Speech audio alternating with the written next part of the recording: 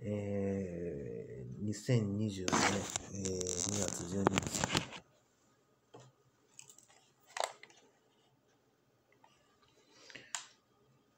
今日の朝、揺れを感じたんですけども、もしかしたら能登半島で、えー、震度6強の地震が発生して、こちらまで揺れが来たのかなと思ったんですけども、兵庫県南東部でした、発生して、今調べたところで。で、ちょっとまあ、その、寝れない運動の件に関して、多分これ結婚希望相手一人にせんかったら無理でしょ。多分そういう仕組みでしょ。電波でずっとごちゃごちゃ言ってこられる。寝させようとしてくれない。あの、睡眠薬なしだったら。で、その辺のところが精神病だのなんだのっていうような形になってて、科学業界と医療業界と結局政府通して各省が総理を通して通じてるから、今総理のせいにしてるんじゃなくて、何かの仕組みがある。これ結婚希望相手、佳子様って言ってた時の方が寝れてる、眠れてる。一人に絞ってるっていうことで。で、多分その方法じゃないと無理だと思う。宇賀夏美の場合だと、紙の、えー、今までの経緯を考えても、上田裁判官と2019年11月30日、東京都の、えー、っと、あの駅、浜松町の駅で遭遇してる。向こうはその二人で移動してた。裁判官と。で、その裁判官が棄却している以上、この件を真面目に取り扱おうとしていない。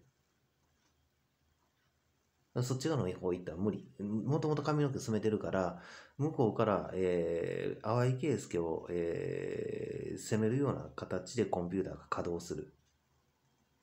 心の声の聞かせ方とかは。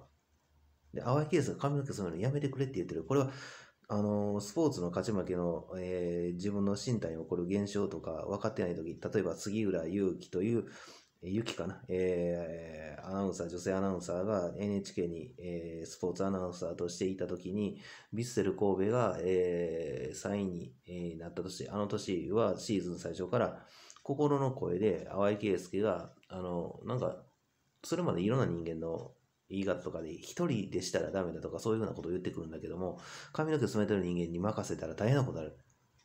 そいつは多分何の苦労もしてない。杉浦ゆきゆきは、スポーツの勝ち負けに関して。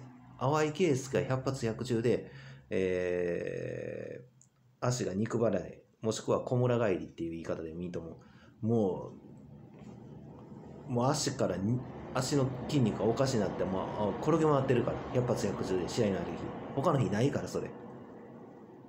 髪の毛染めとる人間絶対任せあかん。これは以前も説明した。ハリー杉山っていうやつ、昨年のペナントレースの途中、淡井圭介が大変だっていうことを聞いていた。で、彼には善意があったかもしれない。ただし彼に任せたら、もうこっちも体めちゃくちゃなってるから。エロ業界の方の攻撃の仕方。身体の攻撃の仕方。髪の毛染めとの人間イコール、もともとエロ業界との深い関わり合いがもともとある。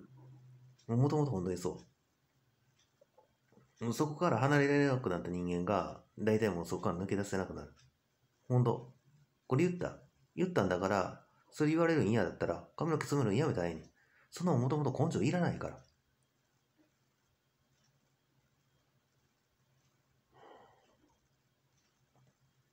最初から一択。で、ホームページは淡井圭介に昨日一番に記載している、この間の、えー、内容、えー、しっかりと全員見てください。えー、閲覧者数とかを確認したらわかりますから。